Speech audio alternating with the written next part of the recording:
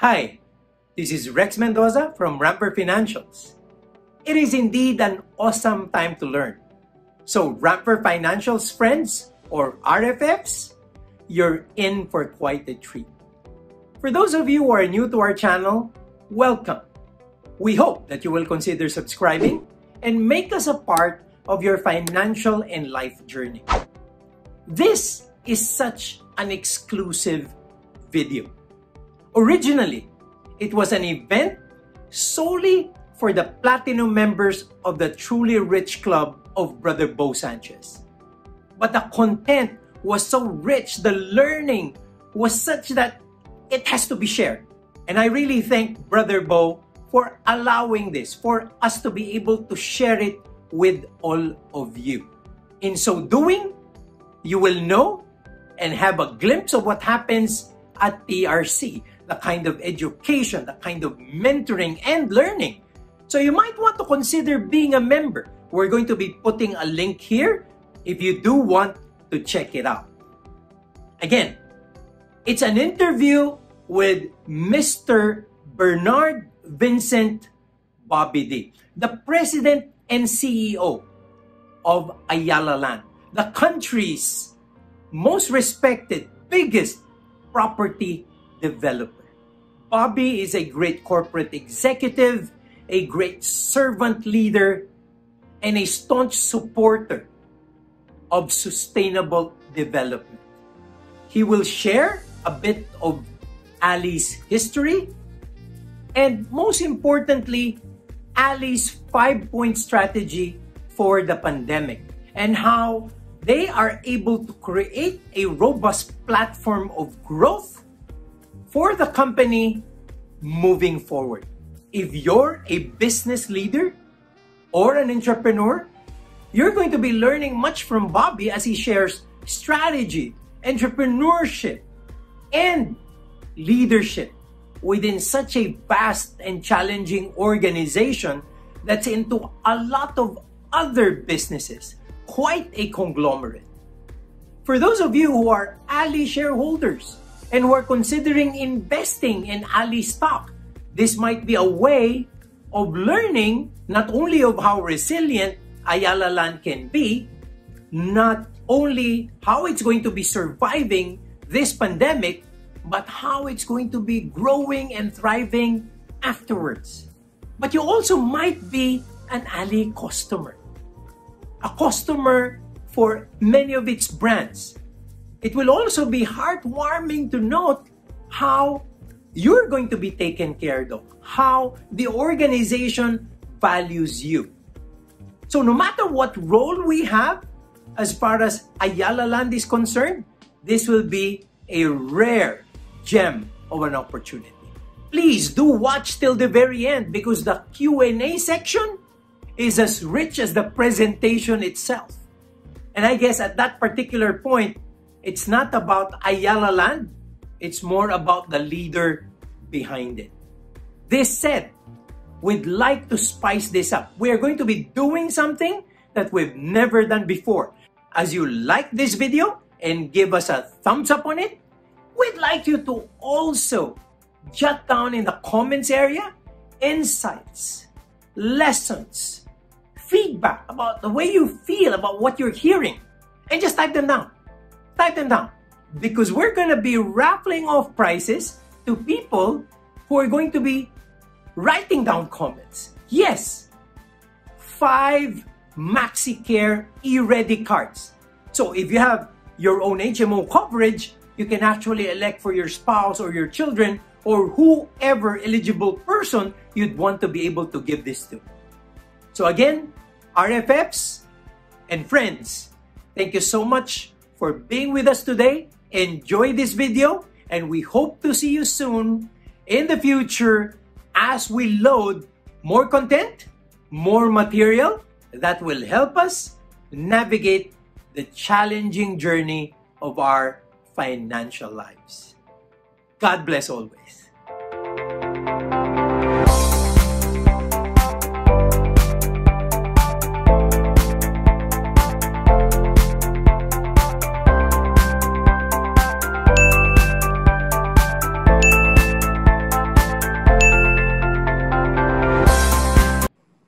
Right.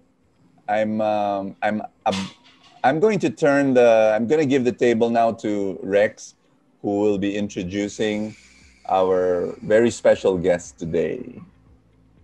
Rex. Okay, friends. Uh, our guest is the president and CEO of Ayala Land, the largest and most respected property developer in the Philippines. He joined the company in 1997 and held various leadership positions that enabled him to propel the growth of its major business units. Today, he continues to steer the company towards its vision of enhancing land and enriching lives for more people. A champion of sustainable development, he empowers the organization to embrace the principles of sustainability by focusing on site resiliency, pedestrian and transport connectivity, eco-efficiency, and local economic development in creating integrated mixed-use communities. Beyond his role in Ayala Land, he serves as the president of Bonifacio Art Foundation and Hero Foundation, a nonprofit organization assisting the orphans of Filipino soldiers. He has also been a director of Junior Golf Foundation of the Philippines since 2010 and has served as its vice chairman since 2017.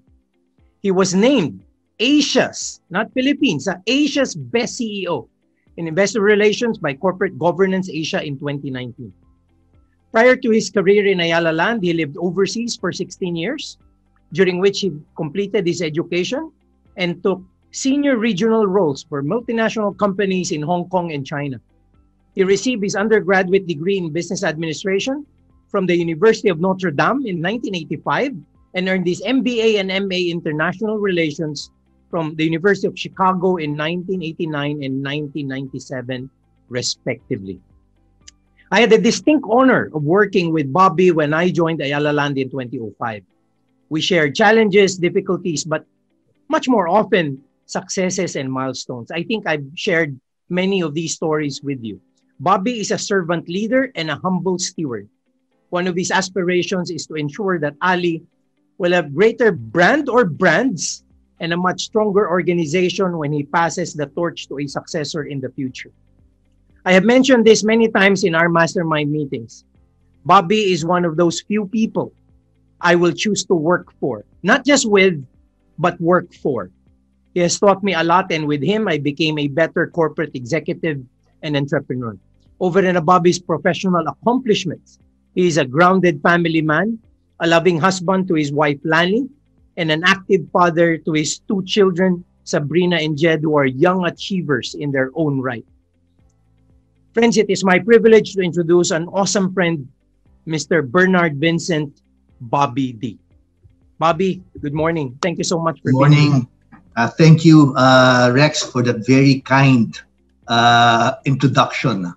Um, okay, uh, can everybody see my uh, my screen? Yes, yes. Okay, great. So, so again, uh, good morning uh, to all of you. It, it's truly uh, a pleasure uh, for me uh, to join uh, this quarterly meeting. Thank you, Brother Bo. Thank you, Rex, for for this invitation, and to allow me to give, I guess, perspectives, no, on this on this pandemic, as well as Ayala Land's plans during this most, you know, challenging period. Uh, but before I go through uh, our plans, uh, allow me first to share a little bit of a background uh, of Ayala Land. Okay, Ayala Land, uh, we started as a division of Ayala Corporation back in the 1940s. as many of you know, our first development was actually here in Makati, the Makati Central Business District, as well as its surrounding subdivisions and villages. Uh, since then, uh, we've had many, many uh, projects. Uh, in the 1970s, uh, we started development uh, of Ayala Alabang.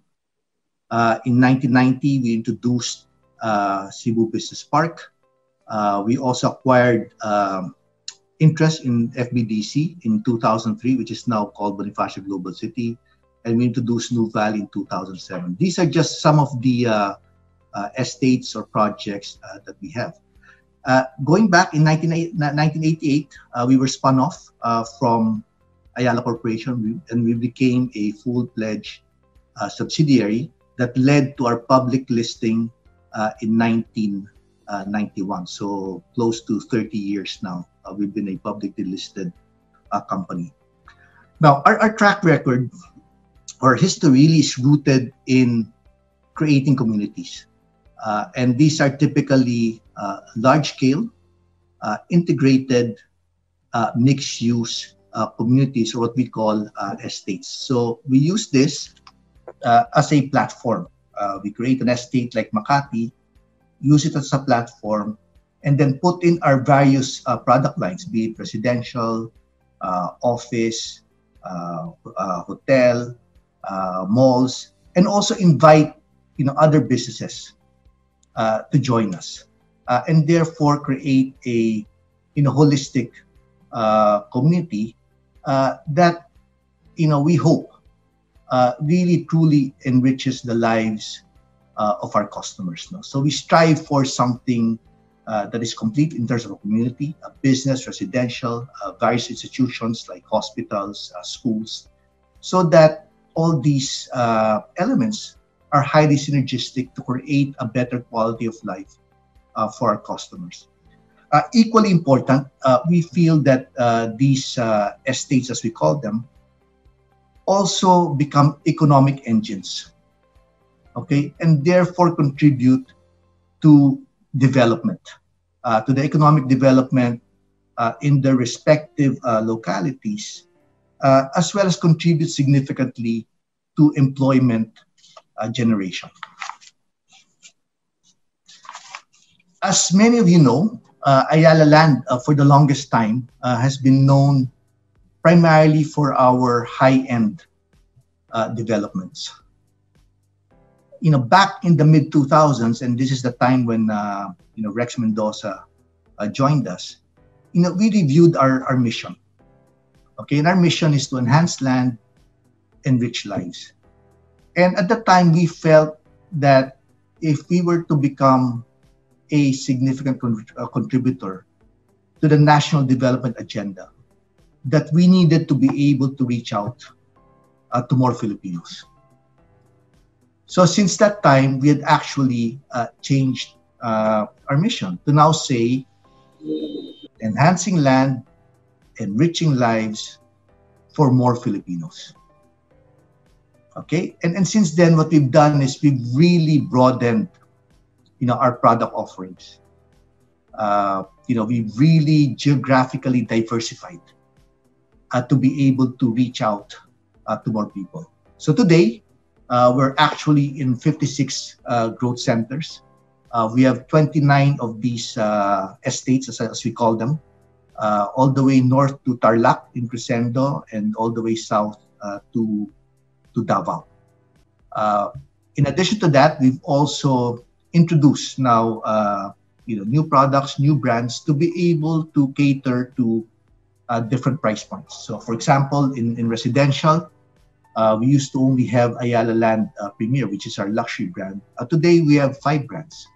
So we're able to service you know buyers from price points as low as 450,000 uh, for house and lot, house and lot, and all the way to upwards 100 million uh, for luxury. When you look at our malls, we were known primarily here in Ayala Center, uh, primarily uh, for the affluent class, uh, Glorietta as well as Greenbelt. Uh, but today, we, you can see we have Market Market, we have Trinoma, and recently we're also managing Tutuban. And this basically caters to much broader section of our population. Uh, for offices, uh, same story. Uh, we were known for AAA buildings like our corporate headquarters in Tower 1. Uh, but now we have BPO campuses like UP Techno Hub, uh, where, wherein we're able to you know, cater to a broader base of uh, businesses that are looking for more, more affordable office spaces.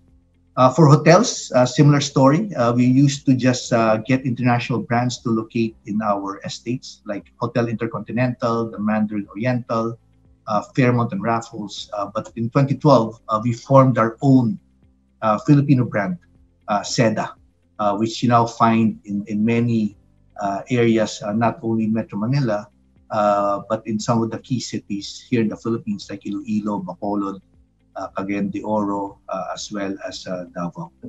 Uh, same thing for the resorts. When we first took over uh, El Nido, it was primarily island resorts at a fairly high uh, price points. Uh, but today, uh, we develop a Lio estate uh, to be able to broaden our offering to basically more affordable tourism accommodations. No? so we have Casa Kalaw in Lio as well as Seda Hotel now in Lio. So again, the thrust is to really, you know, uh, broaden, uh, to be able to reach out uh, to more Filipinos. And because we've done that, uh, we've been, you know, uh, fortunate uh, as a company. We've been blessed that we were able to grow uh, significantly uh, during this period. Uh, if you look at the last 10 years, truly, they've been, you know, breakout years. And I just have to, you know, give credit to the team that we had at the time, particularly our, our CEO, uh, Mr. Tony Aquino, who really started this journey of significantly broadening uh, uh, our portfolio as well as a, a significant geographic uh, you know expansion. Uh, Rex Mendoza was part of this uh, was part of this journey, and Rex was primarily the architect of you know our branding strategy and the market segments that we will basically get into. Uh, so if you look at the last 10 years, because we've done, uh, we, we basically reached out to, to more people, uh, the performance uh, basically speaks uh, for itself. No, our, our net income grew significantly, outpacing uh, GDP growth, and therefore our share price also outpaced the PSE index compounded annual growth rate.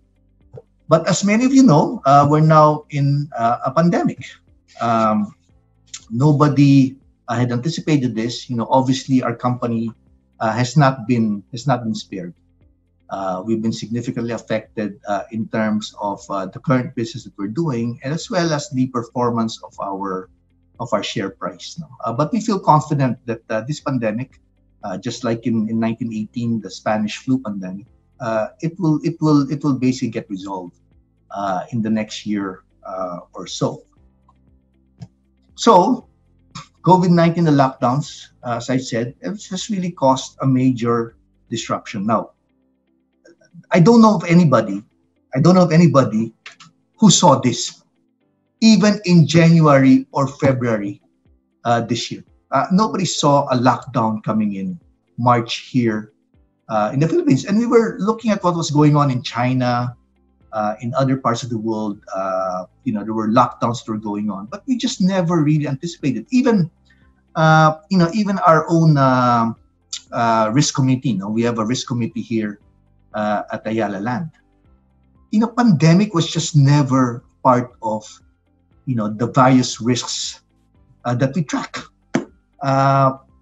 you know, I meet with many, you know, investors, stakeholders uh, and I get frequently asked over the years, you know, what are the things that you know you think about, you know, in terms of risks? I I just never saw this. Okay, it was just never, you know, in my uh, in my radar uh, that this is even uh, remotely uh, possible. No? Uh, but we all know that it has happened, and it has caused uh, a major economic uh, contraction uh, here in the Philippines our GDP contracted by 16.5% in the second quarter. The worst that our country, we've never seen anything like it. I mean, I was here, uh, even if you look at the 1980s, uh, during the debt crisis uh, that we had in 1983, 1984. Uh, the economy never contracted uh, by this much. In the Asian financial crisis, a similar story. We got hit hard, but the economy never contracted uh, in this kind of magnitude. No? But obviously, we, we remain hopeful. Uh, now that the economy is starting to, to reopen, uh, we're hopeful that you know things will start to get uh, better and better. But obviously, when the the the pandemic hit, I think it's important to keep a perspective. Okay, I mean, obviously, a lot of people were anxious during this period, myself included but it's always important that we keep the right frame of mind. And that frame of mind, for me, is all crises come to an end. They do. So, I, you know, the chart that I'm showing are basically the you know, global, regional, uh, local uh, crises. Uh, sorry, local crises uh, that we've seen uh, over in, in the 20th century. Uh, the Spanish flu, the Great Depression, World War II, our own local debt crisis that was triggered by the Aquino assassination, and the Asian financial crisis. Now, if you look at this, if you look at the charts at the bottom of the at the bottom part of the page, what you see here are basically uh, two things. Okay, one is when the crisis hit, you get a major contraction. Okay, you see it. Uh, these are very, very deep uh, economic uh, contraction. But what you also see is once the storm blows over, then you have a very sharp rebound. Okay, so you have a very sharp rebound. So the most important thing when this thing uh, struck us, at least for, for me and for us at Ayala Land, is to make sure that during this period that we keep our heads above water. Okay, because we know that eventually a strong recovery uh, will happen. Okay, and I do believe that. I believe that here uh, in the Philippines, a strong recovery will happen. The elements or the factors that made us successful pre-pandemic will continue to be there uh, post-pandemic. Uh, let me name a few. Our large young uh, population base will continue to uh, to be there. Uh, many countries, as, as you know, are struggling with an aging population and therefore they're very concerned about their economic uh, growth. But here in the Philippines, our average age is uh, 23, 24. Uh, we are now in a period of what they call a demographic uh, sweet spot wherein more people are working uh, compared to people who are not working. And this will basically propel our economy forward. you know, pre-pandemic we saw it. I expect that post-pandemic, it will continue to be there our macroeconomic fundamentals continue to be in good shape. You know, in fact, you know, pre-pandemic, this is the best that I've seen, uh, you know, in the Philippines. Uh, low interest rates, uh, low inflation, our government's fiscal position continue to be very healthy. Uh, pre-pandemic, our debt to GDP, and and you know, for us who remember the 1980s, we know that uh, too much debt could lead you to to trouble we are in very good shape. Uh, debt to GDP uh, pre-pandemic was at 39%. Uh, today, even with the pandemic, with the contraction, what they're anticipating is for 2020 and 2021, we will be in the 0.5 or 50% to 60% uh, debt to GDP uh, ratio, which is which is very good because if you compare us uh, to other countries, like even advanced countries like Japan, US, these are much lower numbers, which gives our government a fiscal space or spending power to be able to pump prime uh, the economy and lead us to, to recovery. Foreign exchange, same situation. I think we now breached 100 billion uh, US dollars. So again, very important that we'll be able to service our debts, our foreign debts, and secondly, that we'll have capacity to pay for imports that we will need uh, to restart uh, our growth. The economic pillars that we had uh, pre-pandemic, I'm anticipating will be there post-pandemic. namely, the BPO sector, as one example. you know, we have a lot of BPO locators in our various offices, and, and nobody has contracted. Uh, in fact, uh, we've been able to close uh, significant spaces uh, during this period. I mean, there was one about maybe six weeks ago, uh, a new uh, multinational company that booked uh, about 22,000 square meters in a building that we're about to complete in 2022. That's the uh, One Ayala or the old Intercontinental site. So, you know, BPO, I believe, will continue to be a very strong pillar. And, and the numbers are compelling. You know, a one full-time equivalent cost of a one-time full-time uh, full-time equivalent of an employee in the U.S. is about $70,000. Uh, here in the Philippines, it's $18,000. So it's huge. It's what? What is that? Close to four times. So the numbers are going to be compelling for BPOs. And we know we have the talent here uh, in the Philippines. So my sense is BPOs uh, will continue to be a main driver of our economy. Second, uh, overseas Filipino workers. And I know, you know, our overseas Filipino workers have been hit. Okay, but once the global economy recovers, uh, because of our service orientation, the talents that we have here, I expect that those remittance numbers uh, will go back to uh, previous levels and resume uh, their usual uh, growth trajectory. It's unfortunate that you know many of our kababaya, kababayans no, have, have lost employment, but once the health crisis and once global GDP goes back to to you know to what they're saying now would be a sharp rebound, they expect that demand for the talent, the labor that we have, uh, will continue to be there. Uh, tourism uh, was a fast-growing uh, area or segment for us. Obviously, that's been affected significantly uh, by the pandemic, but we have so many things to offer in the Philippines. Uh, hospitable people, beautiful islands. So again, my expectation is once the pandemic, the health crisis is over, then people will start coming back and uh, visiting our uh, tourism sites. So I, I, do believe that the sharp rebound will happen. Uh, things that uh, were positive in our development pre-pandemic uh, will continue to be there. So the important question for Ayalan, and this is really what I want to talk about today, is what do we do uh, during this period, right? you know, how do we keep our heads above water? So at Ayala Land, we came up with what we call a five-point uh, action plan uh, for only for the COVID-19 crisis. And we basically came up with this plan uh, just for this year. And we quickly rolled this out uh, to the organization uh, in the first couple of weeks. In fact, in the first uh, couple of days, I met with my ManCom and quickly agreed on what our plan should be. And, and let me just highlight the importance of that.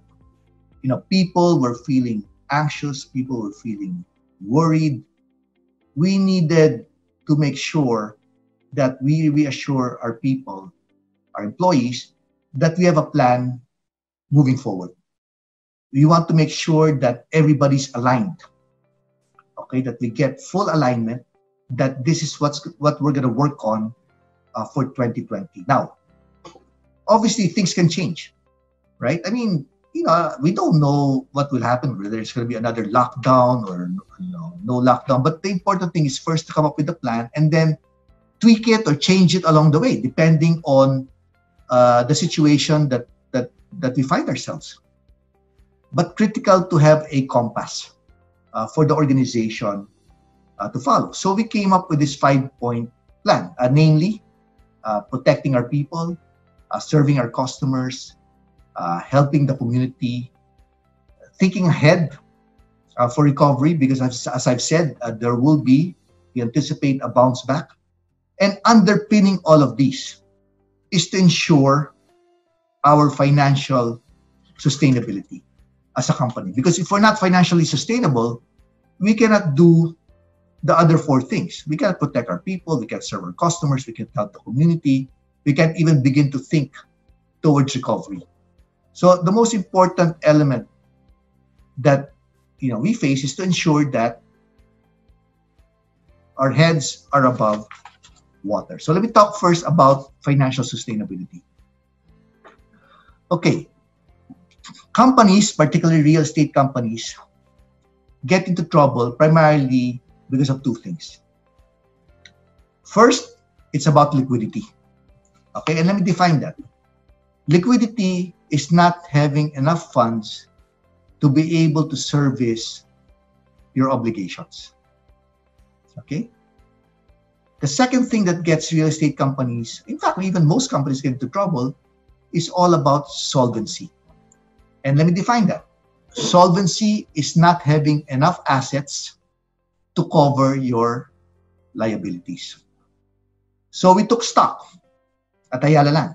So first, we check for solvency. Okay, and on the upper right-hand side uh, of the chart, we'll show you the different estimates of what we call NAV or net asset value, which is what is the value of our assets less our liabilities. And what you can see from the chart is most, uh, well, all the estimates, okay, that uh, indicate that solvency is not going to be a problem, right? Our value ranges anywhere from 700 billion to close to 1.2 uh, trillion pesos after servicing all our obligations. Okay, so no problem. I mean, solvency is not a problem. So we now needed to focus on liquidity. Okay, that we have enough cash to be able to service all our obligations. Now, why is that important? Number one, you know, during a crisis, what you don't want to do, particularly in real estate, is you start liquidating prime assets because you won't get the right value. And we know that once this pandemic is over, uh, those values will go back right up, right? So important that we are not forced, okay, to sell, you know, any of our prime assets. That's why we really focused on liquidity. So we check, okay, how much cash do we have? How much unutilized credit lines do we have? So we checked that. We had about 18, 19 billion in cash. We had unutilized credit lines of about 40 billion. So let's call it close to 60 billion, right? So if we shut down everything, okay, we just have to pay for our payroll, overhead, some of our fixed costs. What is the burn rate of that? And we calculated it at about 19 to 20 billion. So given this cash that we had, uh, given the unutilized credit lines that we had, we had about three years or two and a half to three years worth uh, of funding okay, to even if we generate nothing in the business, which obviously will not happen, just to assume the worst case. So we had about two and a half, three years. So we felt, you know, fairly, uh, fairly good that we had uh, this liquidity uh, in place. However, it's important that we don't use or we don't burn cash uh, during this period. So we set a second objective uh, for our operating units, which is what we call you square your operating cash flows. So you only spend what you collect. Okay, so during this period, we said, okay, maybe we just manage our project launches. We will have limited project launches this year. Maybe the land acquisition uh, could wait uh, a little bit. Uh, let's reduce our capital expenditures to only what we can afford. So we've reduced that from 110 billion to to 70 billion, uh, and then look at ways to generate additional cash. In our case, we've been fortunate uh, that we were able to introduce the first REIT in the company called. Uh, we were able to generate 12 billion pesos. Uh, we also sold some accounts receivable, which is part of our regular program, uh, that we were able to, at least on track for this year, to be able to square our operating cash flows. In fact, we even want, wanted to go further we want to further strengthen our balance sheet. Okay, we wanted to improve our what we call our leverage uh, ratios. No, and uh, at the end of Q1, at the end of first quarter, our leverage ratio was uh, 0.86, about 86% debt to 100% equity. No, and what we said is we wanted to bring that down uh, to the 0.7 to 0.8 level, and we're basically now uh, on track to be able to do that because of the fundraising uh, that we've done. Uh, and then, given the way interest rates have behaved uh, over the last uh, six months, and this is again credit to, to central bank governor uh, Ben Diokno, that he injected a lot of injected liquidity into the system. you know, reduced, I believe, the reserve requirements, reduced the benchmark rates, and you know, we were able to now refinance uh, expensive short-term debt uh, to now a much lower uh, rate. So we feel good uh, about our financial sustainability. Again, these were the three initiatives uh, that we basically introduced fairly quickly, and the team has done a, a, marvelous job in terms of executing this. So, given that we've, we've assured our financial sustainability, So we wanted now to focus on the other uh, objectives. Okay, uh, protecting our people, very very important. No? Um, I, I, you know, prior to to you know, I was talking to to Brother Bo, you know, a while ago uh, about uh, our people here at Ayala Land. That the success of Ayala Land uh, is not done by one individual or a few individuals. This is really a collective effort uh, of the team. Over the years, in fact, this is over decades, we built what I call institutional capability.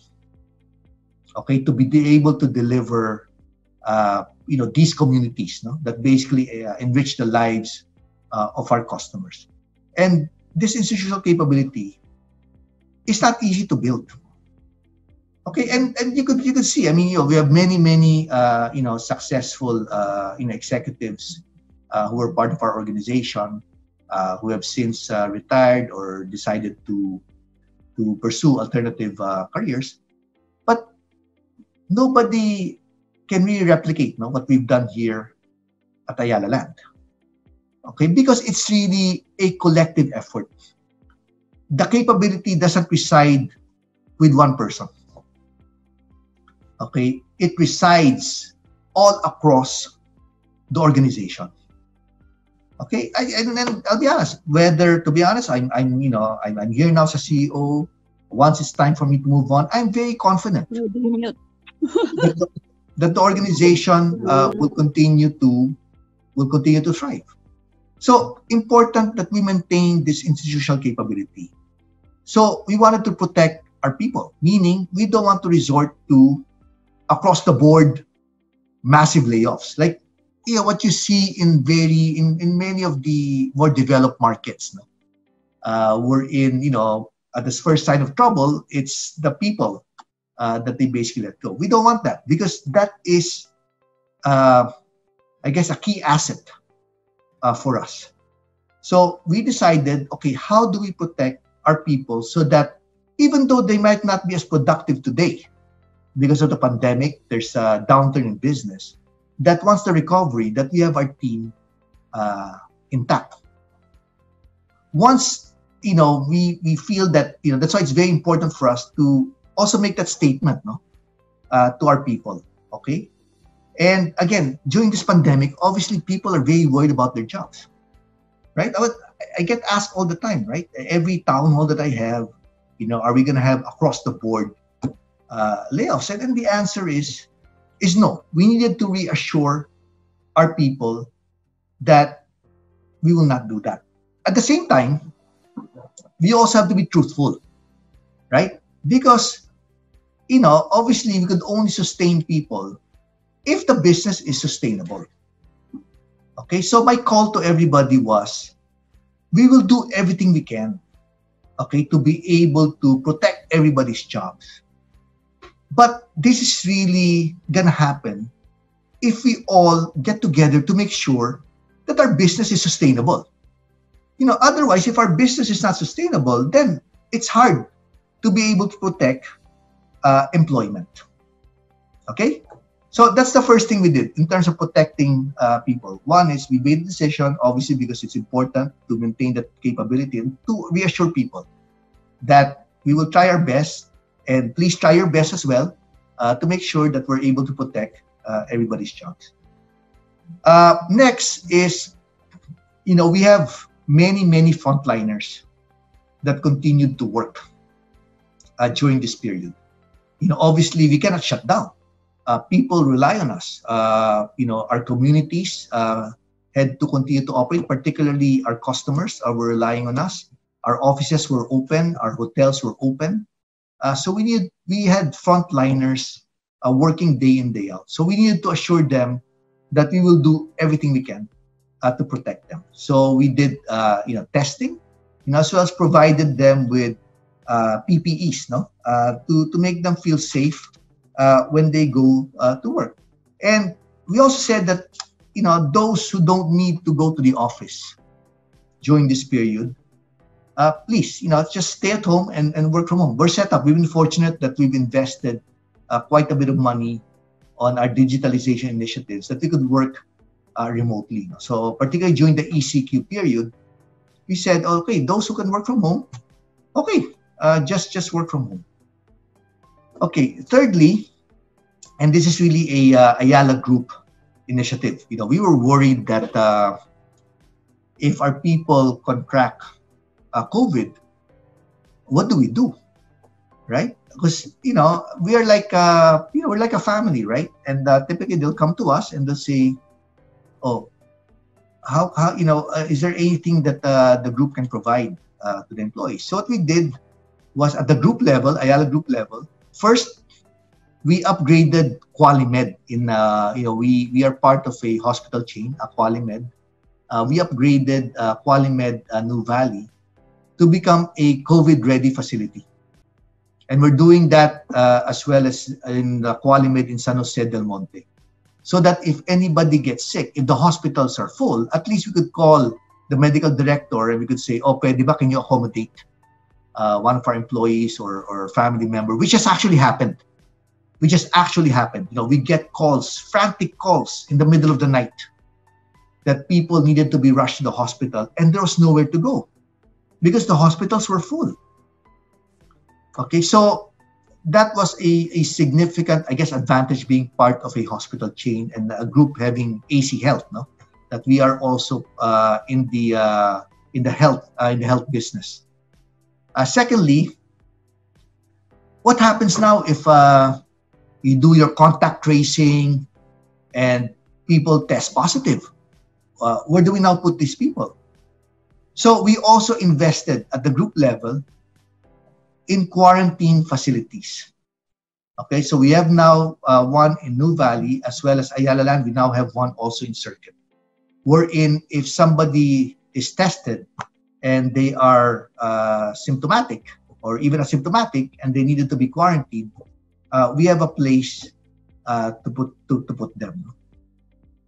At Ayala Land, uh, given the cost of COVID care, uh, we also rolled out um, a program wherein we will top up uh, what the insurance uh, will pay for COVID care by another half a million. Okay, by another half a million pesos for all employees. So if you get sick, okay, obviously there uh, there's PhilHealth, there's uh, our, our insurance, and on top of that, we self-insured.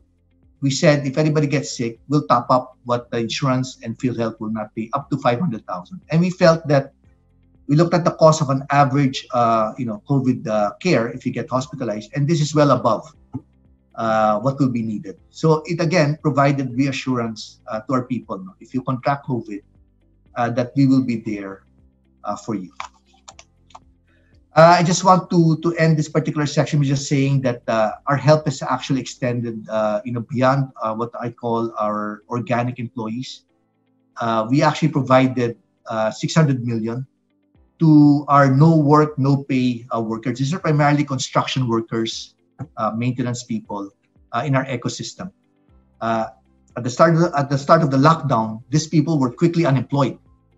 So we allocated 600 million right away uh, to be able to tidy them for a few weeks uh, during this pandemic. you know, obviously, we viewed them as part of our team. so we tried to stretch as much as we can, and we said, okay, let's allocate 600 million and provide them with this cash uh, to help them during this difficult uh, period. Our next trust is uh, to make sure we continue to serve our customers. As I've said, you know, our malls were open, you know, uh, for essential for essential services and businesses. Uh, our offices were open, uh, our hotels were open. But more importantly, as you know, we manage are different developments even after we finish construction. We have uh, Ayala Property Management Corporation, APMC, that does uh, property uh, management no? Uh, for our developments. And they manage over 400 of these uh, associations uh, and estates. And of course, during the ECQ, the lockdown, the more people will need services and reassurance that you know their their condominiums, uh, the subdivisions, the estates will be maintained. Uh, that they will be secured. That security will continue to be in place. So we had 7,000 people during ECQ deployed in 400 communities throughout this period. Okay, our property managers, uh, customer service staff, uh, security personnel, maintenance stayed on site because obviously the people in the communities were also worried about people bringing in the virus. So they basically uh, stayed on site, and we just had to make sure that they were protected uh, as well. Uh, we also had, I guess, critical platforms in place. Now, and this was done not during the pandemic, but this was investment in technology uh, done, uh, you know, years ago. That people who wanted to reach us uh, will be able to uh, reach us. Uh, in facilities that were open, like malls, offices, you know, obviously sanitation was top of mind. So we had to change, you know, our procedures uh, to make sure there's more frequent uh, sanitation. Again, to assure the people who are going into these, uh, you know, facilities. Uh, and then finally, we had to change the way uh, we do business. We had to accelerate things. So, for example, for the malls, people were worried about uh, going to the malls. So we designed programs like curbside pickup. You just call the merchant, and then you can pick up your goods along the curb. Uh, we now have a personal shopper called Anna. Uh, you could reach them through Facebook or through Viber, and you know you just tell them what you want, and they will shop for you. Uh, we also have our own app uh, called uh, Zing, uh, wherein our merchants are now, or many of our merchants are now listed there. And once you click it, it goes to their website, and you can now order things that that you would want. Um, for our residential group, you know, obviously there's not much uh, tripping, uh, site tripping uh, going on, but people were still interested uh, to look for uh, property during this period. So we really had to step up, you know, our um, websites uh, to be able to put in all the marketing materials, including brochures, 360 degree tour of the site, and made it capable wherein all the information that you need to be able to make that decision of a property purchase is there. And then you, you could actually now do reservation online. So all the way through. Okay. Uh, in residential, we were also we also had uh, units that were about to be turned over. Now, many of our clients uh, did not want to go on site. So we basically changed our process and use technology to now to be able to do virtual turnovers. You don't have to go on site. Uh, there's a video. You'll be you'll be able to see it. You want to focus in a particular area. We could do that. You could do your punch listing uh, virtually. Okay. In fact, uh, we've turned over more than a thousand uh, units during this period, and over half uh, were done uh, virtually. No? So these are just some of the ways that we continued to serve our customers during this period.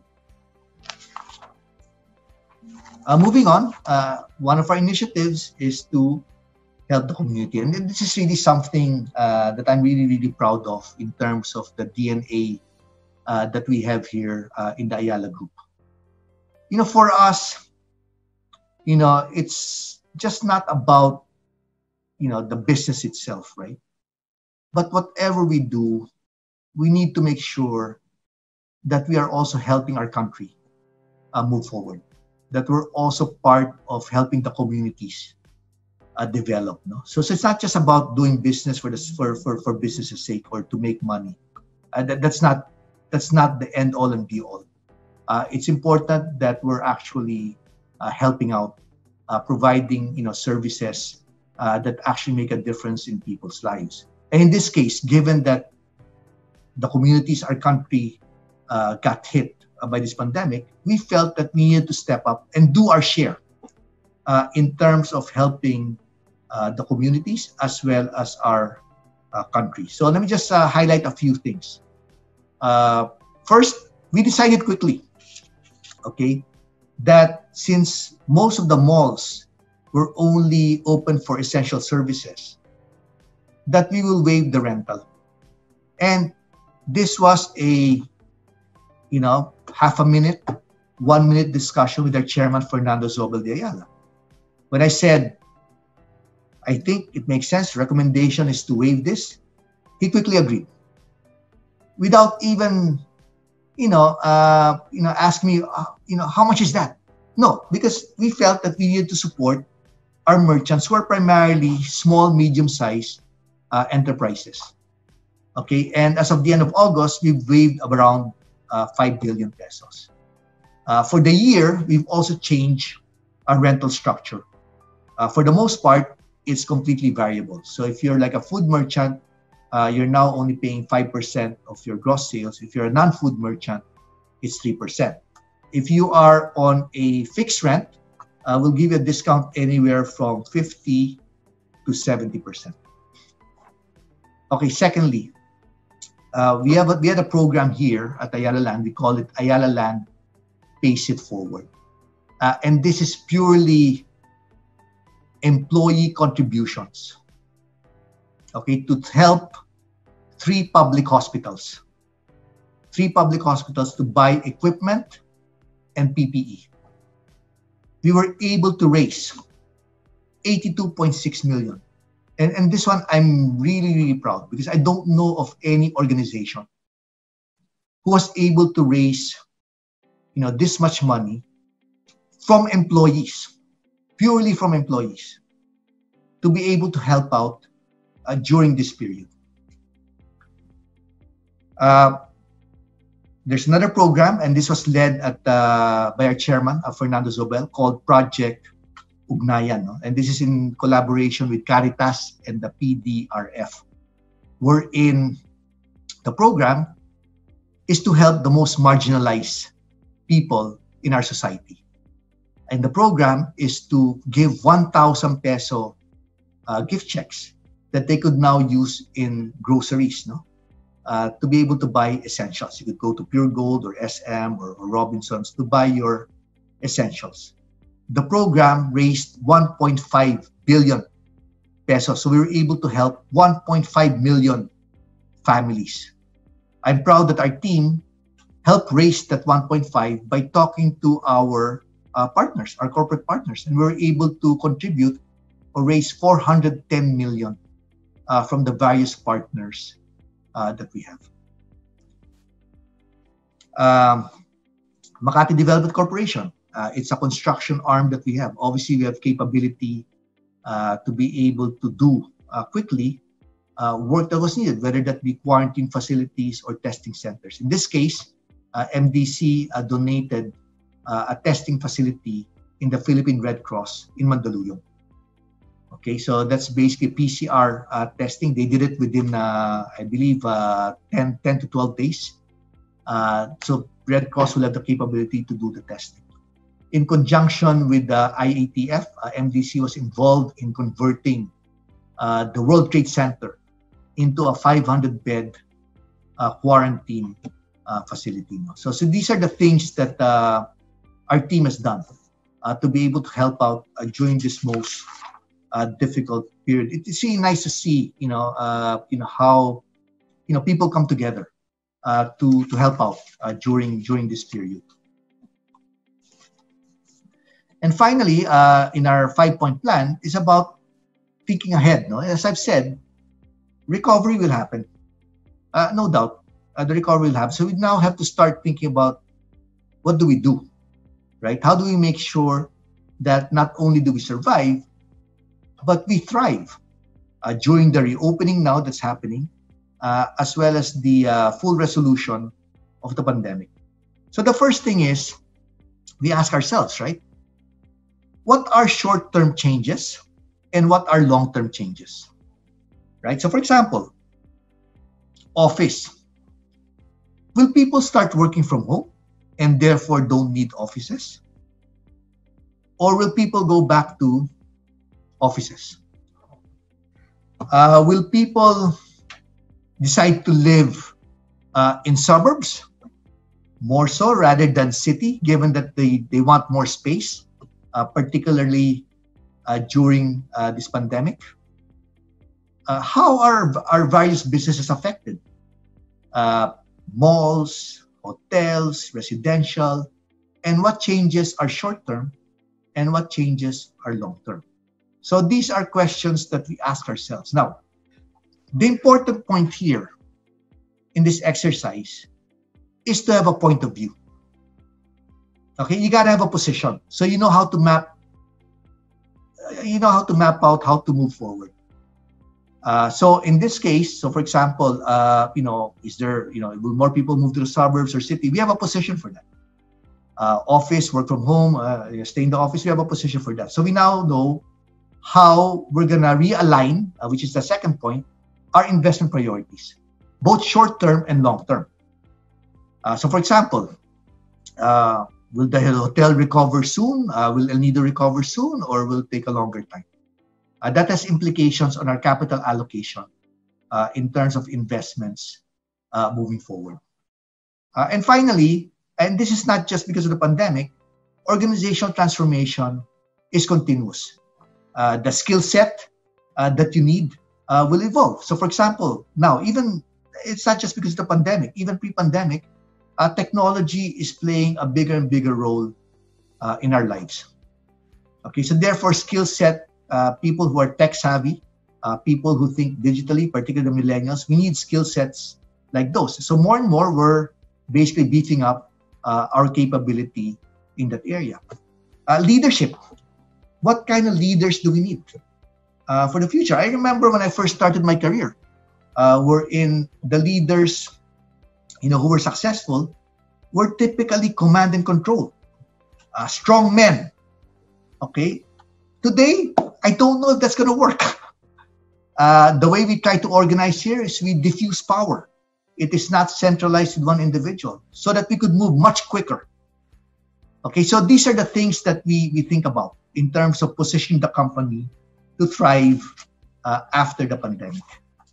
So let me just sum it up by just uh, talking about my three, t- uh, three key takeaways no, uh, on this pandemic uh, what I've noticed is, you know, this black, what they call black swans, no, black swan events, uh, which I also call like tail risks, uh, low probability, high impact events are happening more fre- more frequently. I look at the last, uh, you know, I don't know, 20, 30 years, Asian financial crisis, 1997, 1998 was followed by the global financial crisis, in 2009, 2010, and then now followed by uh, the global health pandemic.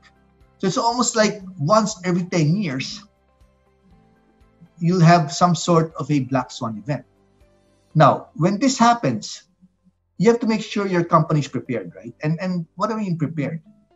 You want to make sure that you'll be able to survive because, as I've uh, shown a while ago in the in the chart uh, on the various crises, that there's a strong recovery. Okay, so make sure that as you take risks, okay, and and and for many people, we want to maximize risk, so we maximize return, right? You want to make sure that you watch out for that tail risk That if an unforeseen, low probability, high impact event happens, then your organization is prepared to be able to handle that. Secondly, we want to, as an organization, turn these challenging situations into opportunities and into really proud moments. And I'm really, really proud how our team has responded, both in terms of serving our customers, in terms of helping out uh, the community. Uh, and and this and and the you know the the initiatives that we've had, I hope, uh, have truly made a difference uh, in the lives of our customers as well as the you know communities that that we, we've helped out. Uh, as I mentioned, for example, the public hospitals that we've given contributions were very very appreciative uh, when we came up and stepped in relatively uh, quickly. Secondly, the world is in- interconnected. Okay, our lives are interconnected. When you have a major situation like a pandemic of this sort, we need to get together as people, as a community, as a country. And I was very, very pleased to see how different parts of our society got together, okay, to help out. The private sector, as an example, stepped up, okay, in terms of trying to help out uh, in this crisis. There's a lot of coordination uh, going on uh, between the private and the public sector in terms of reopening uh, the economy. Because at the end of the day, uh, we're all in this thing together. Uh, the only way we're going to be successful uh, as a business is if the country is successful. Okay? And I think the only way our country will be successful also is if businesses are successful. And therefore, we generate employment for people, we uplift lives, you know, increase the quality of life of the people. So I'm, I'm actually very happy to, to see that during this pandemic, we saw the we, we saw the strong Bayanihan spirit here in the Philippines, which if, if I could say, I did not, you know, I have a hard time seeing in some other countries, like in Western countries, uh, parang ano eh, kanya-kanya eh. Okay, parang kanya-kanya. Uh, here, I think as a people, uh, we, we came together. So really, really pleased uh, to, to see that. Very happy to see that. And finally, you know, in a crisis, it's about people. Okay, you have to make sure that your organization's got a strong culture of malasakit, that they care about the company. And this doesn't happen overnight. That means that we have to treat people with respect, with dignity. And we have to treat them fairly all the time. So when a crisis happens, they are there for us. They are there for the organization. You cannot ask people who've been disrespected, mistreated in a crisis to step up. We just cannot expect that. So the culture of respecting people, treating people with dignity is important. So that in a time of crisis, they're there for you. And typically, when you do that, when you treat people with respect and dignity, they stay with the company. And therefore, you now end up with an experienced team which is critical. You know, I, I compare it to like a basketball team, right? Because the people here at Ayala Land have been here uh, for a long time, like my senior team, as an example, our average tenure is probably 20 years. So it's all, no, you know, in basketball parlance, pwedeng no look pass all the time. We know where we are. Okay, we know where we are. We know our skill set. We know, you know, we could rely on each other. So you need to have that kind of team when a crisis uh, happens. No? So we're able to navigate uh, quickly. No? Uh, so with that, I'll, I'll, end my presentation again. Uh, Brother Bo, Rex, thank you very much for this privilege uh, to be part of uh, your quarterly meeting. And let me just end with a video of Ayala Lando, a corporate video that I want to share with everybody. So again, good morning to everyone.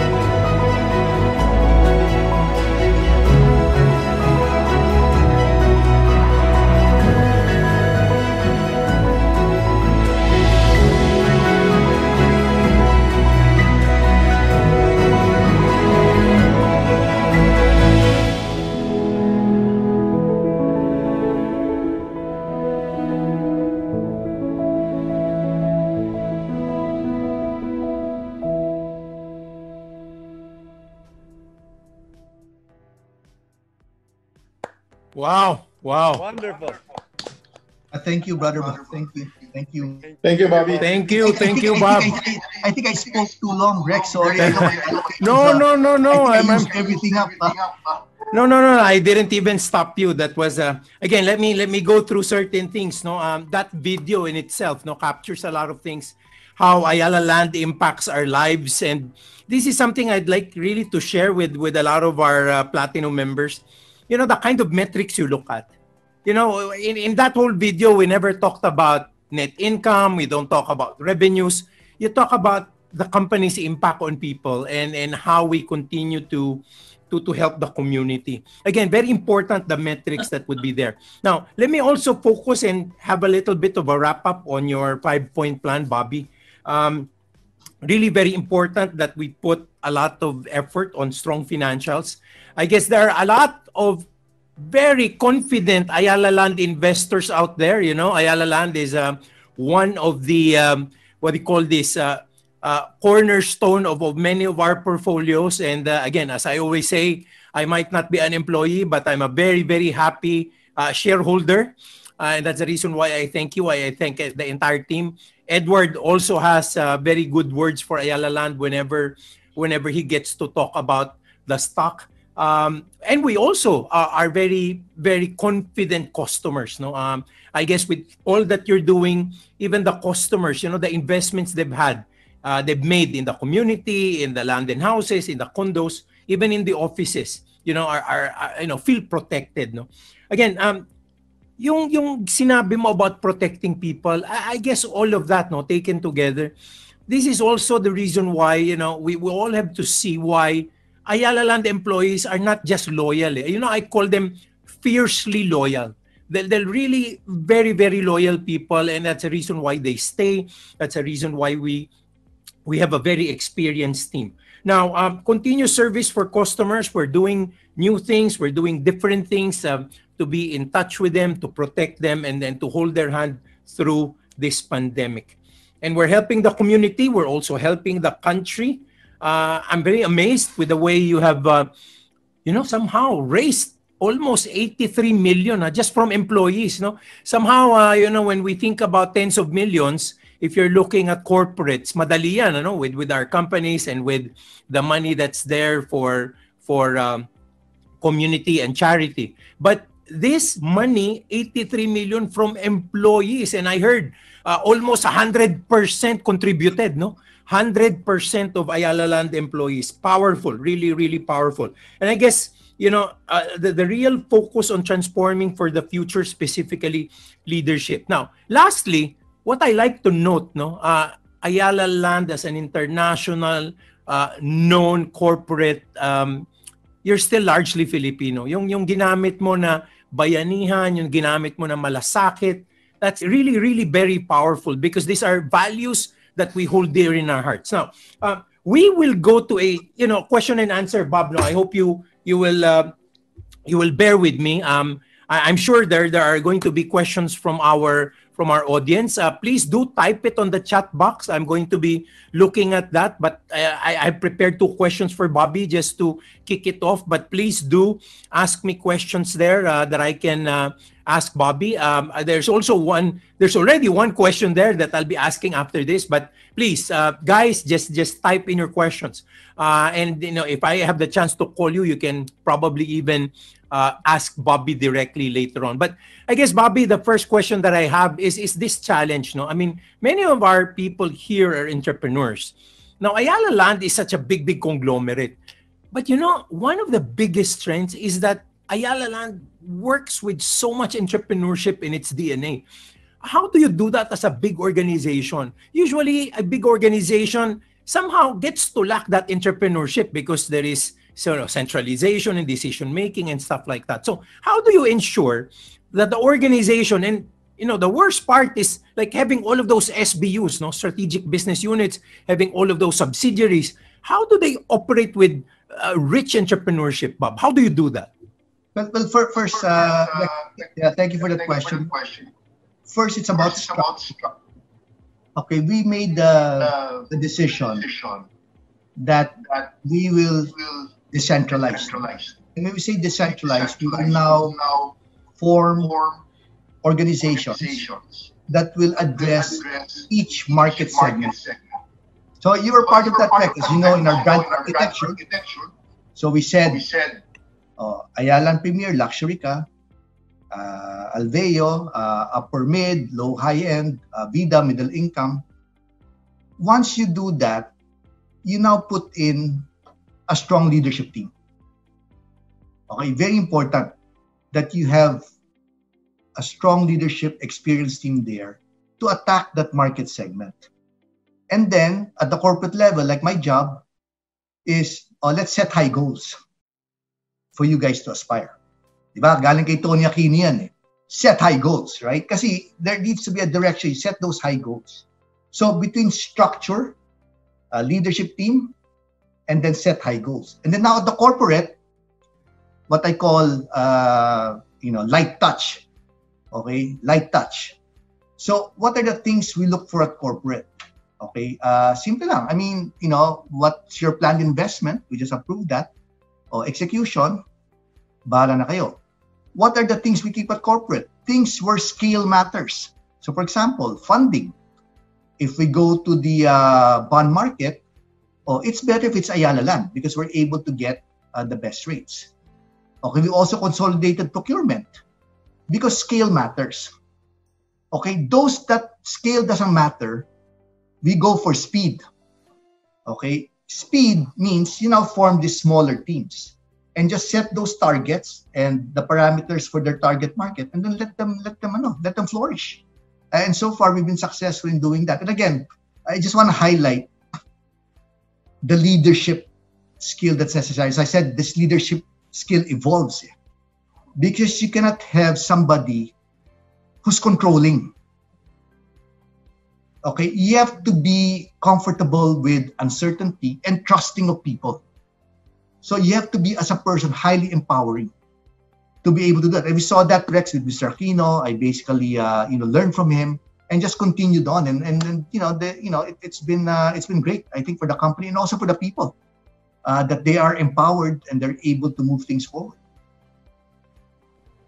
Thank you, thank you, Bob. Uh, I guess uh, that that gentleman that I know will never ever take uh, credit, no. But uh, I will I will have to tell the the guys this. Uh, I know Ayala Land and its organization when I came in, and I see it now. It's it's very different, no.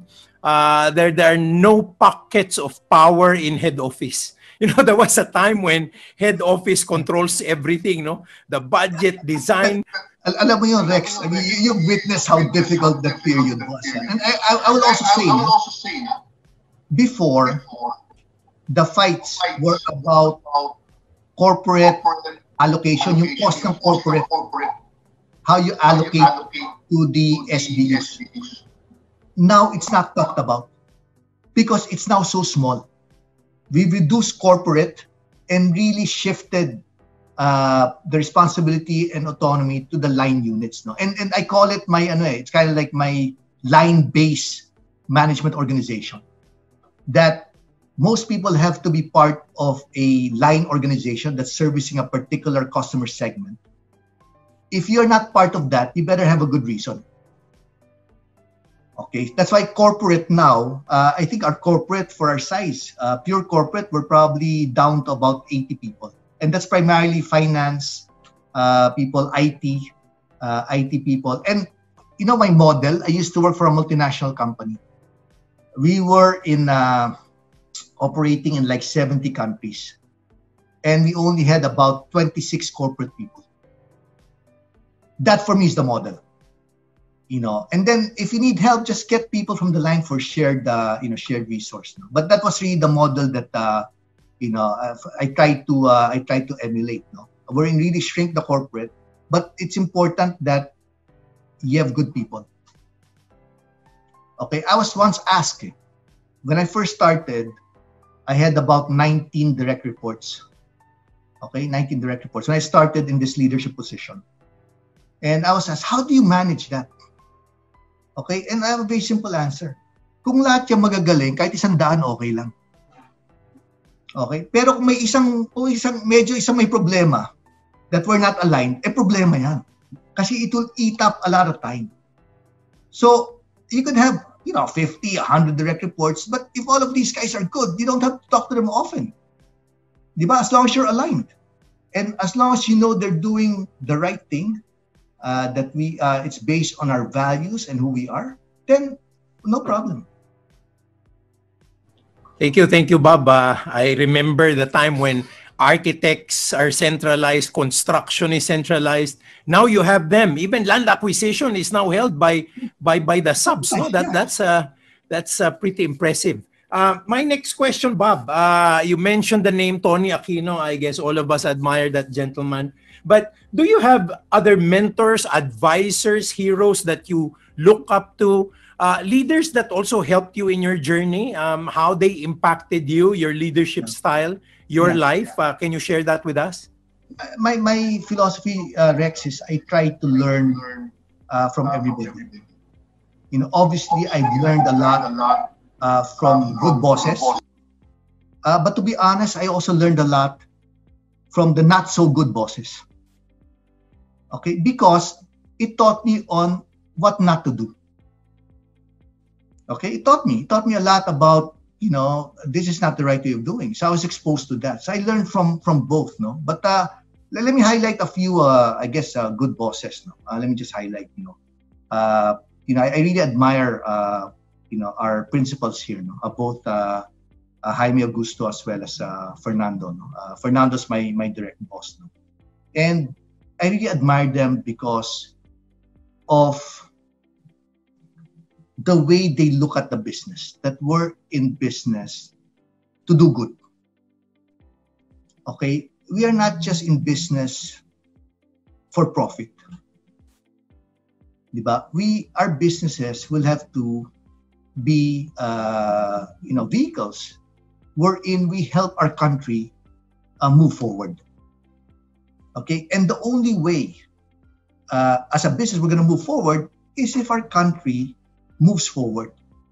So we should not do anything that will harm our country because that is short term. If you're in for a long game, you have to make sure that everything you do helps us develop as a nation. And we're primarily a Filipino company. You know, our you know our fortune is tied to, to what happens here in the Philippines. So we should not do anything that will harm our institutions or what have you uh, that we should do everything that we can uh, to be able to help our country move forward. Uh, si Jaime uh, was just in a conference, no? Uh, and this was basically, I believe,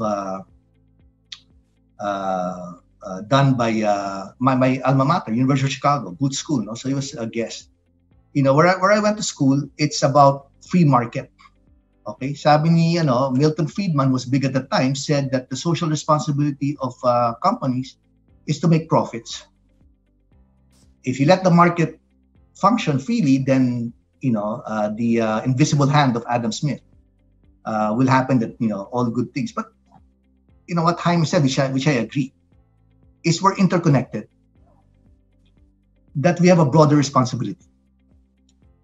Uh, we have a broader stakeholder uh, group uh, that we need to not only look at our own business but our impact uh, around us no and how it helps us uh, move forward so you know obviously i, I admire uh, both of them no it's it's a you know they, they really set the tone for the organization and i've mentioned already mr tony aquino who's also very very instrumental in my development and si Tony, I really admire him, uh, you know, both as a business person, but also as an individual. Okay, uh, he really has uh, people's development at heart. Okay, and I can tell you how important it is uh, that people believe in you. Uh, and Tony was one of those guys uh, who believed in me. Okay, because you have doubts. I mean, can you imagine when I was asked to assume the leadership position at Ayala Land. I'm taking over from Tony Aquino, right? Management Man of the Year. Okay, Management Man of the Year. Sabi ko, am I setting myself up for failure? Okay, uh, you know, so you know, I'm very, very grateful that he believed in me, and up to today, he continues to uh, to mentor me. Uh, I also learned from my peers. Uh, I'll, I'll, be honest, Rex, I learned a lot from you. I really learned a lot from you. I'm not a marketer. You know, uh, I've learned a lot uh, from you, uh, you know, about firing on all cylinders, about how to, you know, live your life, you know, how to have a complete life. I've also learned from uh, reading. You know, I, you know, obviously on a business standpoint, I admire people like Warren Buffett. You know, I've read you know, all these annual reports since the 1960s. And I've learned a lot. You know what I did? I downloaded it sa internet, kinopya ko, and then I read everything. Okay, a good, uh, I think 40 years worth of annual uh, reports.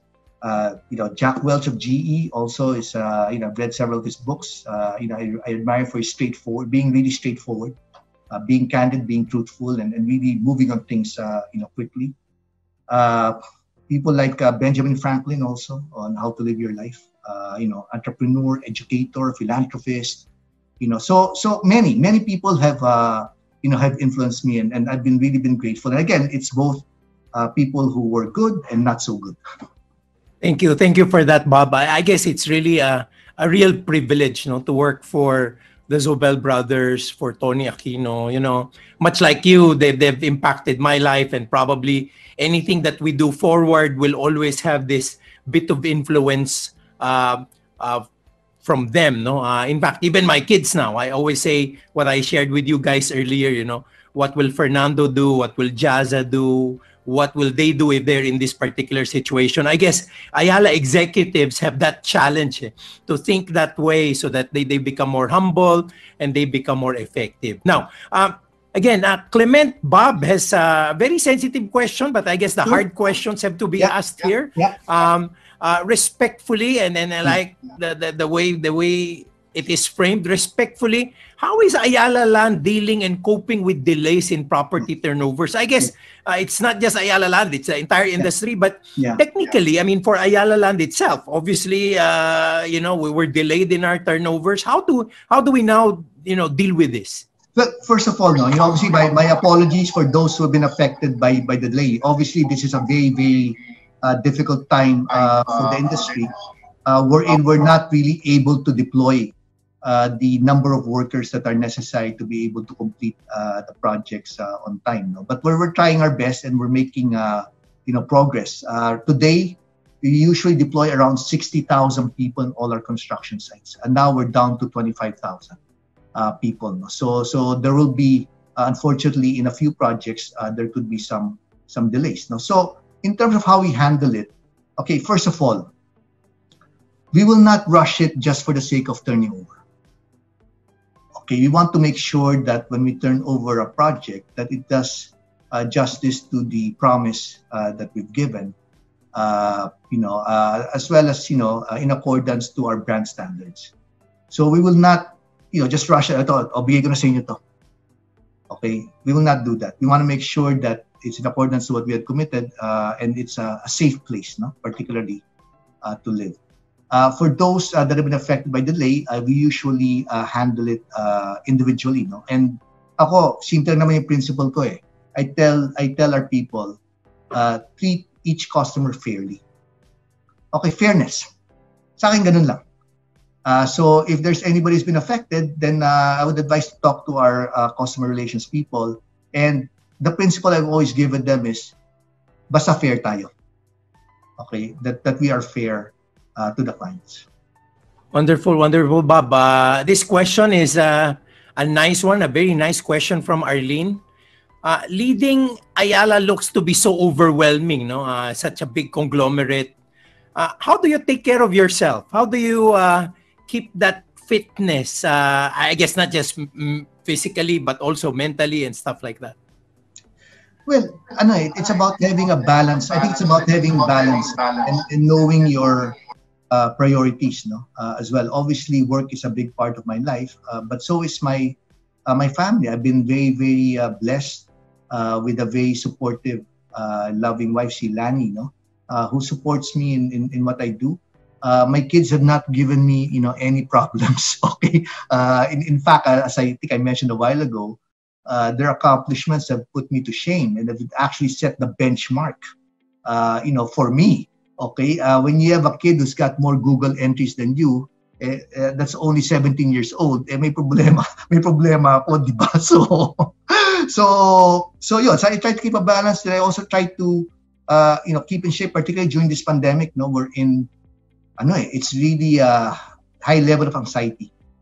Okay, so I've stepped up uh, my, I guess, uh, routine on, on, on, on, on exercise, no? Uh, and then, sa akin, routine is very important. Like, you can see me, Rex, I'm dressing my barong. It's like, I've never changed during this pandemic. Right? When I was working at home, I would dress up, I would wake up at the same time, I'll eat at the same time, you know, I'll work at the same time. I'm wearing the same clothes. I don't wear shorts. Okay, so it puts me in that right, uh, in that right, uh, you know, uh, frame of mind. So again, uh, I think it's at the end of the day, it's balance. Uh, two is maintain a certain discipline. Uh, maintain certain discipline in your life in terms of you know time allocation in terms of uh, you know uh, watching out for your health and also as, uh, as i mentioned routine is a very big part of it. Thanks bob. Uh, i guess I've, I've known bob for a long long time. Uh, you know we boxed together we played yeah, golf together. I, I, I miss those ha? um, kasi nami-mix ni Bobby yung trabaho with the exercise eh. um, he's always a guy who probably would hit three birds in one stone um, And I, I can just say, Rex, no, kasi it's overwhelming eh, when you think about it. But it's about people. It's about people. If you have the right people uh, in place uh, and have the perspective that, you know, obviously things won't be perfect, but always move forward. And if decisions are made in accordance to the company values, uh, no problem. We will just move forward. Thanks, Bob. How, this one's really nice also from Marco. Huh? How do you encourage creative thinking? Because obviously, in a big conglomerate like Ayala Land, sometimes the metrics are all set. Uh, sometimes our, our, our, our processes are, are well laid out, and this has been born out of great experience. But there still needs to be some creativity, some freshness in our ideas. How do you how do you uh, encourage that? Tough targets, Rich that will push people uh, to be creative. If you set uh, if you set tough targets, uh, I I also you know unfortunately just this, this pandemic is a bit uh, difficult. But you know this Rexy, we try to get together uh, with you know with people, no, uh, and try to talk to them because you know it's important that you know through conversation. Eh, I mean ideas and and sometimes it is in those relaxed moments that you come up with these ideas. Uh, unfortunately, during this pandemic, we're not able to to do it. No, uh, but for me, you know, all these uh, after work, uh, you know, discussions with the you know with the leadership team is very important because when you're relaxed, sometimes all these ideas come up, eh? and no pressure, right? You could say anything you want. Uh, and there's no pressure, right or wrong, and then you're able to to flesh out some of these things. No? But but primarily, Rex, what we've seen here in this organization through tough targets uh, you know, people really get creative uh, and then try to make it happen. Just like to share with you guys, uh, Bob's also well known for for uh, taking time with the team for for uh, unwinding uh, in the evenings at times. Uh, let me share this with you. He doesn't drink. So habang umiinom lahat, siya diluted iced tea. I have to highlight that iced tea na diluted pa. Oo. Kaya nagwa-wine, nagwa-wine na ako ng konti, Rex. Kasi yung mga ibang social events, no choice eh. So, natuto na ako. so even if he's uh, de- dealing and talking with some tipsy people, uh, he's not tipsy but he can act like one. Uh, very creative, Bob. Uh, this is a question of, of Brother Bo himself. No, uh, and uh, let me let me let me read through this because uh, there's a bit of detail here. I'm amazed at Ali's decision to serve the broader market, creating real estate for the lower economic strata of society. Question: Was this a profitable move? Is there fortune at the bottom of the pyramid? Quoting the book of uh, C.K. Prahalad, or does the Pareto principle still apply? Does most of Ali's profits come from the top 20% of its wealthy customers? What percentage of Ali's profit come from the lower market? I, I don't have, uh, Brother Boy, I don't have the exact uh, breakdown. Uh, but if you can imagine before, uh, it was 100% primarily high end. Uh, I would venture to guess now over 50% uh, is coming in from the broader from the broader market. No, and it is actually uh, you know quite uh, you know it, it gives you a decent return on capital. Okay, I wouldn't say that you'll make a killing, but it basically uh, it basically uh, is in accordance to you know our typical uh, hurdles, no financial uh, hurdles, no. But it's a much bigger market. That's the flip side. You know, when, when you look at it, it's a much bigger market. So so it is uh, it is uh, and and actually it's been uh, uh quite a rewarding uh, journey uh, for the company. And and, and, and, and the important again, brother Bono, the important thing also is that's why we did this is because we really want to be part of the broader or part of the national agenda uh, for development. Kasi otherwise, what are we? Diba? If we're not going to be part of the solution in terms of moving the country forward. And for us to be able to uh, to do that, we needed to expand uh, our product offerings uh, to be able to reach out to more Filipinos. I guess it's just a uh, a decision, Brother Bo, that, that Ali won't get to list its subsidiaries. Eh. But if you're going to be looking at Alveo or an Avida as a separate property developer, they can stand toe to toe with some of the other listed firms out there. It's just that you can take a piece of these great developments, these great companies, only through Ayala Land. They're not spinning them off. Uh, they're holding them within brands uh, in their residential architecture. Now, let me move on to a uh, question of Ruth. Uh, thanks so much for your inspiring talk, Sir Bobby. May we ask your opinion about office spaces and dormitories? Will AL veer away from expanding in these areas in the coming years? Actually, office space again. This is remember I, I talked about uh, short-term versus long-term changes uh, a while ago, right? And office was one of them. We said that uh, will people work from home or will they go back to the office? Now, I believe uh, that people will go back to the office. Okay, I mean, there's no substitute for human interaction. Okay, we, they talked about this already for a long for, for a long time. No, they said that uh, when the internet uh, first started, they said, "Oh, this will now uh, this is now the death of distance. We're in distance doesn't matter." Okay, because you can now work anywhere. Uh, what has happened during that period over the last what uh, 20, 25 years? Even more concentration Okay, why? So cities became even bigger. Why? Because there's so much advantage to that density. Okay, one, for companies, talent. Okay, talent. You're able to attract a variety of talent. And then the businesses are also become to be highly synergistic. It feeds off one another. Uh, okay, secondly, quality of life variety. People told me, and this one I'll tell you, even some of our, uh, uh, you know, people say, oh, maybe now we could work from home, we'll work on the beach.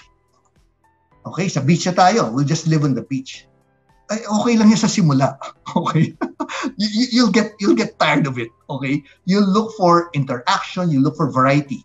Like when you live in a city, it's complete. May hospital, may eskwela, and then arts and leisure. It's complete. Eh? People look for variety. That's why cities don't bet against cities. History has shown cities will continue to thrive. So for me, I'm not betting against cities.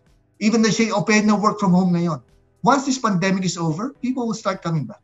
You'll get the density concentration. Uh, so even our own uh, strategy is, is hinged on that. I mean, we'll continue to develop these uh, large-scale integrated uh, mixed-use communities, which are like mini cities.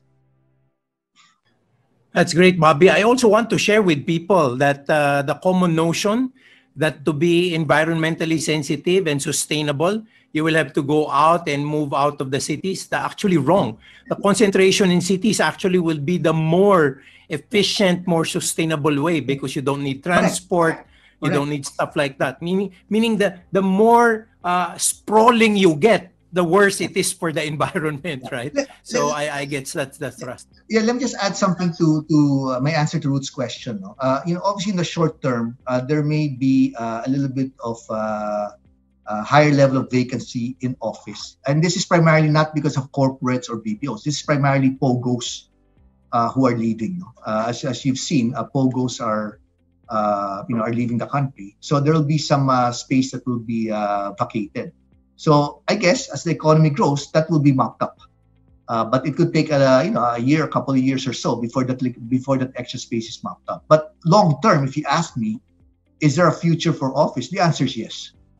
Bob, I think we move on to the last two questions. No, this question is regarding uh, a REIT from Tata Chavez. Uh, there was a time when you know uh, a REIT got got IPO'd, and uh, there was a bit of confusion on the first week. You know, Edward was uh, really very instrumental in um, you know explaining what a REIT is, uh, the kind of investment people can expect out of it. You know, I did come up with the video yeah, as well, but you, yeah. right, but right now, uh, this one comes from Tata. No, thank you for the presentation. It is comforting to know that I have invested in the right company. But pertaining to a REIT, what is the current market outlook to this investment, especially now that people are still working from home? It, it continues to be good. I mean, the the tenant base of uh, the A-REIT buildings uh, that we've, uh, uh I guess, uh, transferred to the company, the Ayala Land buildings that we we basically injected to A-REIT, uh, those are very sta- stable tenancy. those are BPOs. those, wal- walang ano dyan, walang pogo dyan. and and our commitment is to continue to grow that. And and the leases don't expire like in one month or two months. These are fairly medium term leases. And as you know, when an when a company invests in fit out, typically they don't, they don't stay only for five years. A minimum mo dyan, 10 years na siguro. Diba? So, our commitment is to continue to grow that vehicle. In fact, uh, yesterday, I think it was announced that we're introducing or we're injecting another asset, no? Uh, which is the 30th uh, office uh, development along Ortigas, uh, in the Ortigas area. And the yield of that will be accretive. So I think we introduced it at a cap rate of uh, 5.8 by the time IPO uh, with this uh, introduction of these new assets, the yield should go up.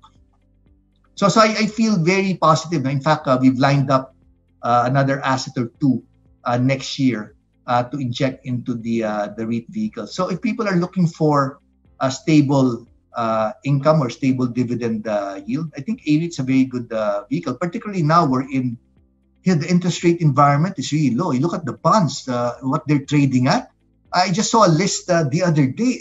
Uh, you know, it's really uh, it's really so low uh, these days. So if you're looking for fixed income uh, with growth potential, then uh, a REIT uh, could be something that you you you might want to consider.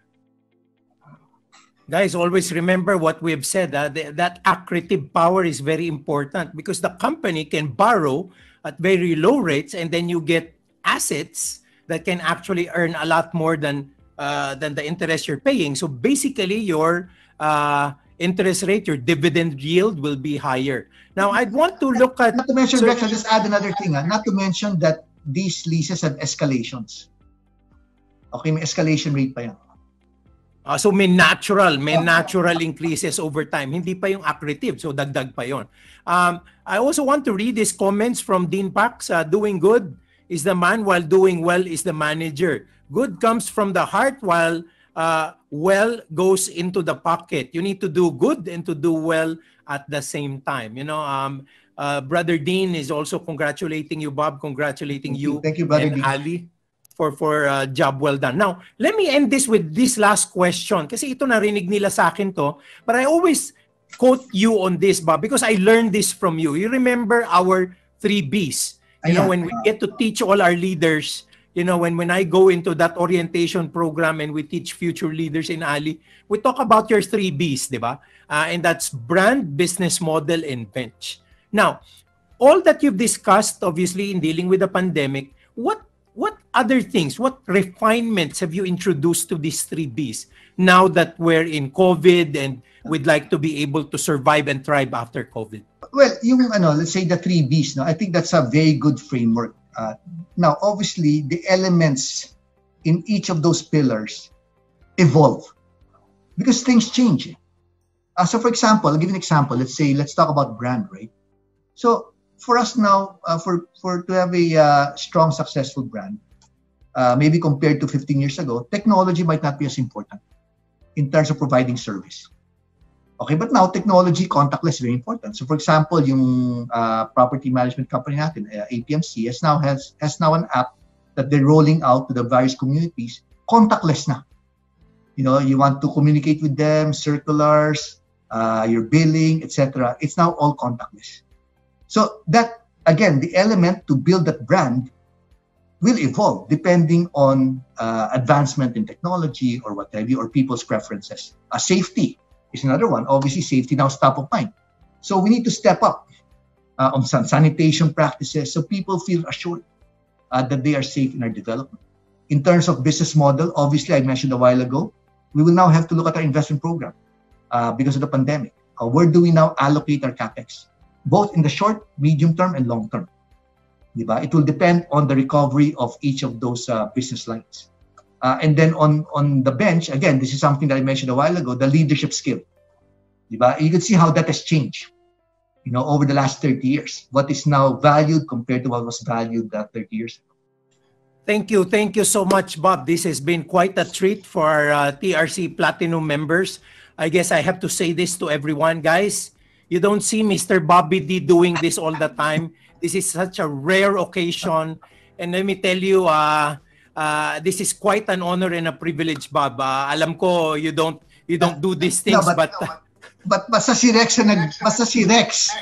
And, and remember Rex, when you asked me, in less than a minute, I responded. in less than a minute. Basta si Rex. but but uh, thank, thank, you, you, thank you, Rex, thank you, Brother Bo, for this uh, privilege uh, to be part of your quarterly briefing. And then thank you everyone for uh, for you know I guess listening to what that what has turned out to be a fairly longish uh, talk now. But I hope you found it informative. Powerful, Absolutely. not just informative, Bob. Powerful. Thank you. Thank you so Thank much, you. Bobby. Brother Bo, Thank you. back to you now.